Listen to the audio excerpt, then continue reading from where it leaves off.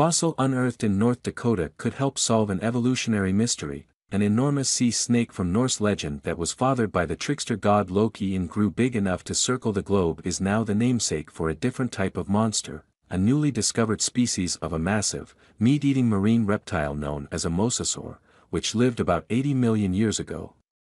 Paleontologists recently described the previously unknown mosasaur from fossils found near the North Dakota town of Valhalla.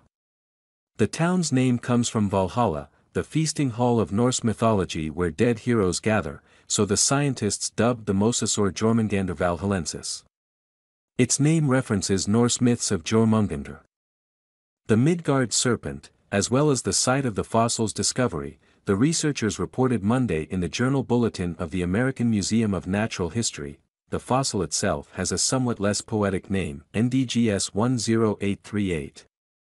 It includes a near-complete skull with a bony ridge over the eyes as well as jaws and some skeletal parts, including 11 ribs and 12 vertebrae.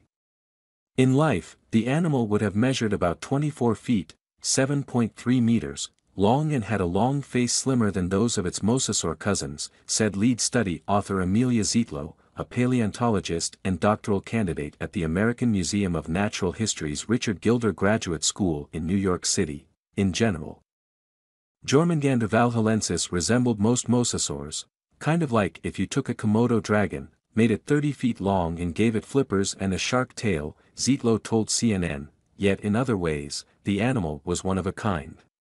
A mix of features in the bones of its skull made it unexpectedly challenging for the scientists to classify the newcomer and hinted that the mosasaur group includes more diverse forms than expected, the study authors reported. An unusual specimen, the fossil was collected in 2015 by the North Dakota Geological Survey, a state agency dedicated to geology and